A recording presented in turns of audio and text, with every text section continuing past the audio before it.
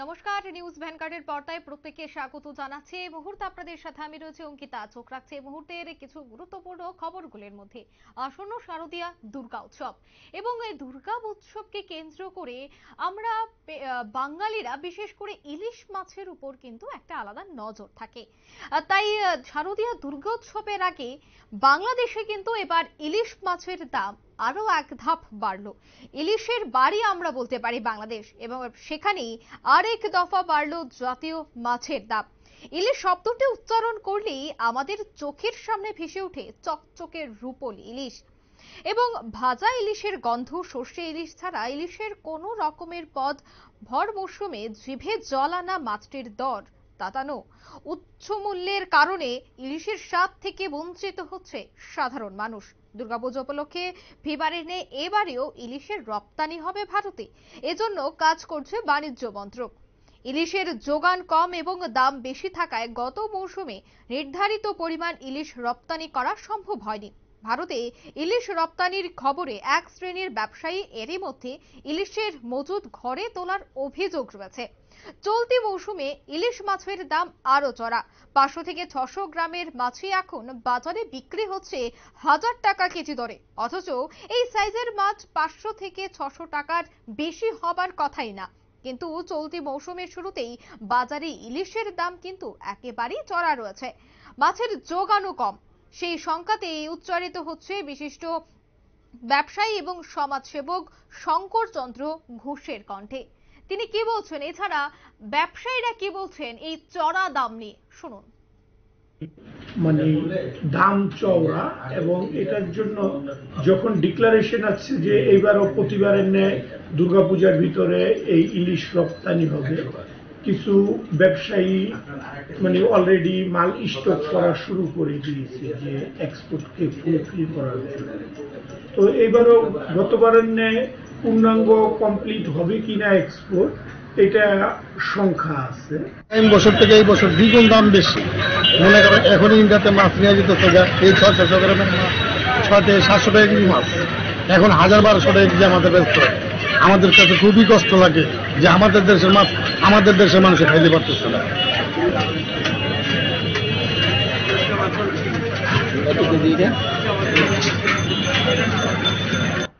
লক্ষ্যমাত্রা পূরণ করা সম্ভব হয়নি গত বছর। আর চলতি বছরও দুর্গাপূজা আসন্ন। ইতিমধ্যে ভারতের পক্ষ থেকে সেখানকার মৎস্য ব্যবসায়ীরা পাঁচ হাজার মেট্রিক টন ইলিশ চেয়েছেন বাংলাদেশ সরকারের কাছে।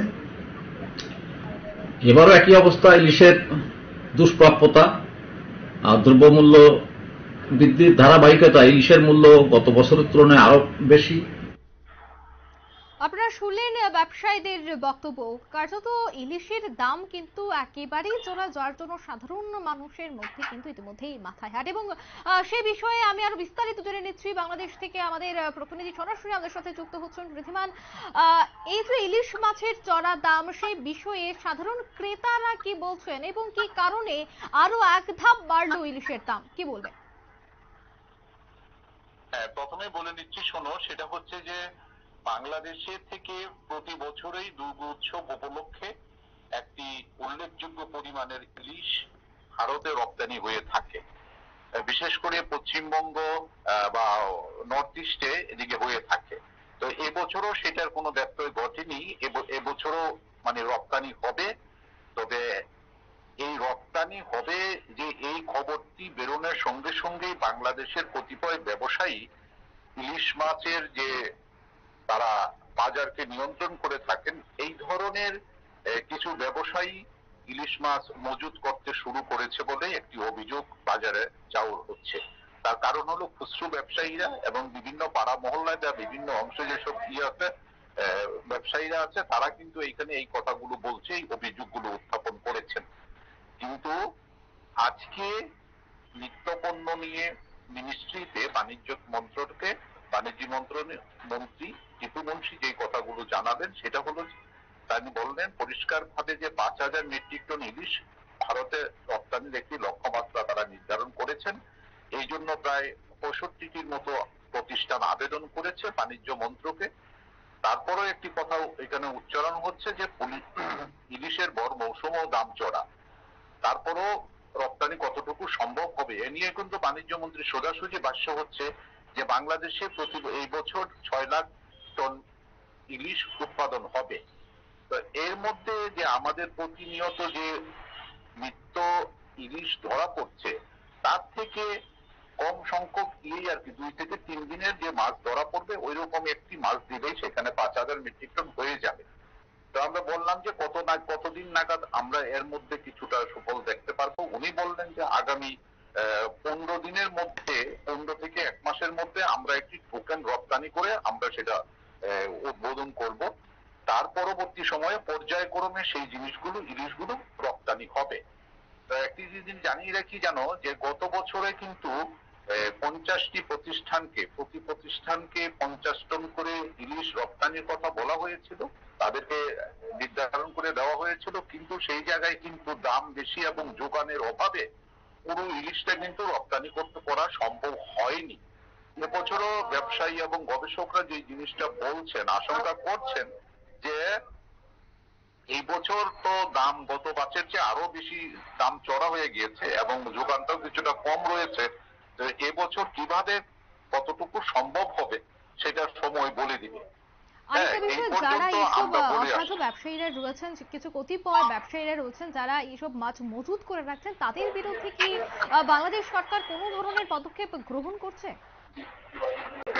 এখানে আজকে বাণিজ্য মন্ত্রী টিপু মন্ত্রী যে কথাটি খুব পরিষ্কার ভাবে বলে দিলেন নিত্যপণ্যের যে ডিম আলু সয়াবিন তেল ইত্যাদি দাম বেঁধে দেওয়া হয়েছে এবং সাংবাদিকদের প্রশ্নে উনি উত্তরে বললেন যে দাম যদি অতিরিক্ত নেওয়া হয় এবং এইভাবে মজুত করা হয়, তাহলে তাদের বিরুদ্ধে কঠোর আইনের ব্যবস্থা নেওয়া হবে এবং এই বিষয়ে মনিটরিং টিম মাঠে নামবে।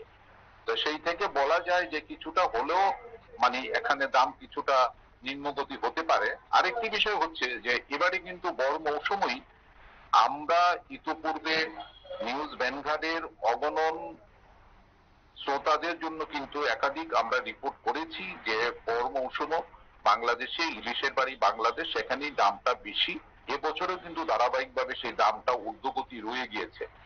এখন ব্যাপার হলো যে বাংলাদেশে একটি বিশাল বড় বাজার, সেগুলো সেই সমুদ্রের তীরবর্তী, নদীর তীরবর্তী, পদ্মার তীরবর্তী, সেখানে মেঘনা আছে, ডাকাতিয়া আছে, এইসব নদীর তীরবর্তী যেসব জায়গাগুলোতে আছে, যে আড়তগুলো রয়েছে, সেইখানে থেকে রাতের আধারে সেই মাছকে ধরা হচ্ছে এবং সেইখান থেকে কিছু মাছ তারা মজুত করে নিচ্ছে যে মানে সামনে ভারতে এটাকে রপ্তানি হবে, সেই মাছের যোগানটা দেওয়ার জন্য। এই ধরনের বিষয় কিন্তু কিছু থেকেই যায়। একেবারে পুরোপুরি ভাবে যদি একেবারে মাঠে, ঘাটে আইন শৃঙ্খলা বাহিনী নেমেও কিন্তু সেই জিনিসগুলোকে মানে ই করা সম্ভব হয় না। এই ধরনের কথাও কিন্তু উঠে আসছে। হ্যাঁ তাই এই বিষয়গুলো নিয়ে আজকে আমাদের সঙ্গে কথা বলেন সেই হিসাবেই আমরা এই বার্তাটা আমাদের পাঠকদের, শ্রোতাদের জন্য দিলাম। একেবারে অসংখ্য ধন্যবাদ ঋদ্ধিমানা বিস্তারিতটা জানানোর জন্য। কার্যত ইতিমধ্যেই কিন্তু বাংলাদেশে ইলিশ মাছের দাম একেবারে আকাশ ছোঁয়া এবং এক ধাপ কিন্তু আরও ইলিশের দাম বৃদ্ধি পেয়েছে। সেই জায়গায় বাংলাদেশ সরকার একাধিক পদক্ষেপ গ্রহণ করছেন এবং এর কারণে যেসব ব্যবসায়ীরা বিভিন্ন মাছ মজুত করে রাখছেন, তাদের বিরুদ্ধেও কঠোর থেকে কঠোরতর ব্যবস্থা গ্রহণ করবে বলে বাংলাদেশ সরকার জানাচ্ছেন। এই মুহূর্তে নিয়ে নিচ্ছে ছোট্ট একটি বিজ্ঞাপন। বিরোধী রয়েছে আর অন্যান্য সংবাদ। সাথে থাকুন।